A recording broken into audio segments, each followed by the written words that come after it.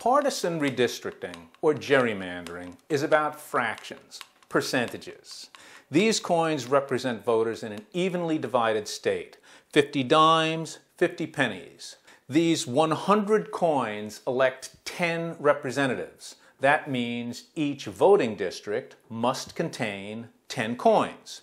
Now, real people don't live in neat rows, so let's mix them up.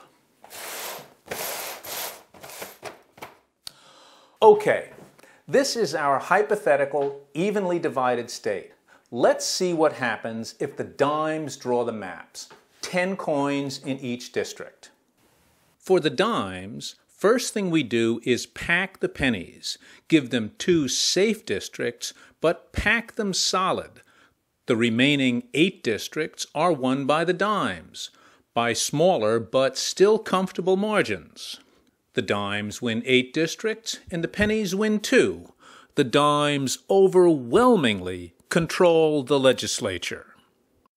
Of course, if the pennies drew the district lines, the opposite would be true. Let's rig it for the pennies. For the pennies, we follow the same pack and crack strategy. Pack the dimes into two safe districts and crack the remaining eight districts to win by the same margin, 8 to 2.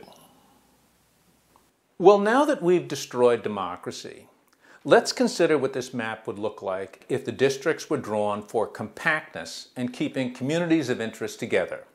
You get evenly divided districts in an evenly divided state. Some go heavily dime, some go penny, but that's to be expected People live where they live, and that is what democracy is about. It's not about party bosses rigging election districts so they can fix the election results.